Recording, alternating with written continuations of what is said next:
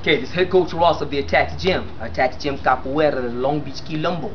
Behind the camera is my friend Brandon, JKD instructor, helping me out. Is my friend Scott. Thank you very much, sir. Okay, we've had some questions about this, and I'm going to go right into it. A lot of people are not aware that capoeira has a very dynamic, in close, close combat aspect to it.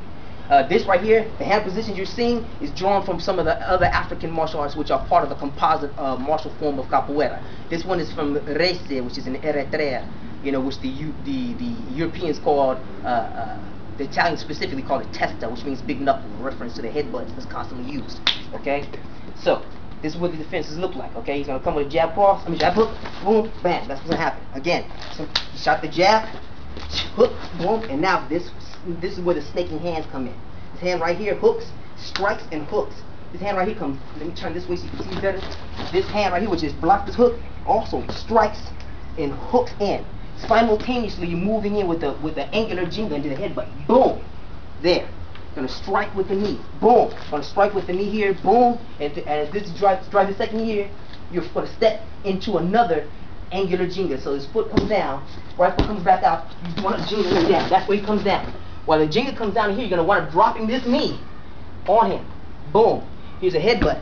And here's the part we're talking about. When I say use the use the bananeira combatively, when you drop the headbutt here, you bounce off and actually drive the heel palm down his face. Of course, we're not gonna actually place my hand here on his face, so I'm just gonna put it here by his head. And we're gonna what I'm doing here is going from here, boom, to there, directly into the bananeira. This is a heel palm directly into his face.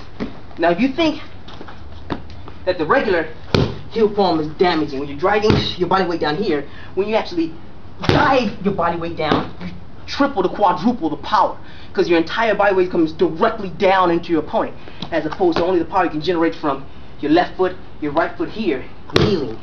You're coming down from a drop, boom, here. That's what's happening. One move. Okay? So, this is this is the snaking hands defense and headbutt Ginga takedown from the jab and the hook. Uh, head coach Kent, uh, Ross of the Attack Gym, Long Beach Quilombo, helping me out. It's my friend Scott behind the camera. JKD instructor Brandon. You guys already know what to do. If you have any questions or comments, leave it at the end of this video. Thank you very much for your time.